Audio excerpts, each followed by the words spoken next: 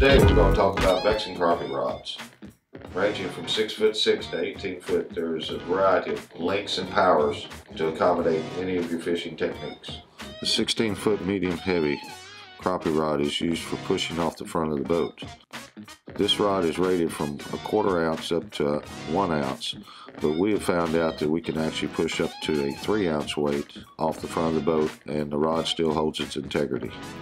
All of the Vexan crappie rods have your fluorescent green tip for visibility, as well as all Fuji eyes and Fuji reel seat. After 18 months of research and development, we have come up with this rod for pushing off the front. We are working on some softer tips for actually long line pulling. You can find the whole lineup of Vexan crappie rods at outdoorswithjake.com.